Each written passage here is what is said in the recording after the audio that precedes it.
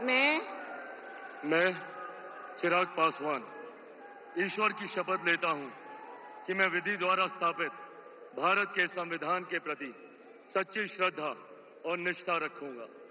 मैं भारत की प्रभुता और अखंडता अक्षण रखूँगा।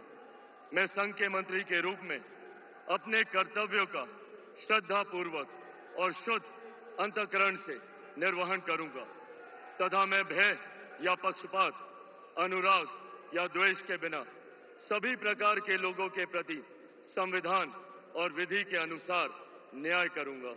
मैं?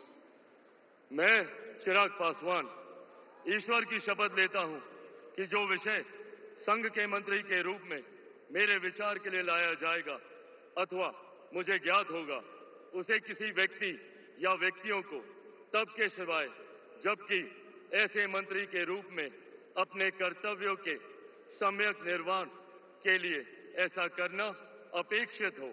मैं प्रत्यक्ष अथवा अप्रत्यक्ष रूप से संसूचित या प्रकट नहीं करूँगा।